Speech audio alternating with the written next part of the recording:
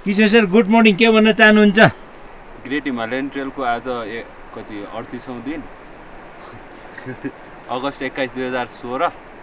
हामी चाहिँ तालमा यो फोक्सुन्डो तालमा बसेर रमाइलो गरेर बसिरहेको छौँ। तालको पानी चाहिँ यताबाट जाँदैछ यहाँ ठुलो झर्ना तल झरेर होइन फोक्सुन्डो खोला भएर चाहिँ तल यो चाहिँ सुलीघाट निस्किन्छ।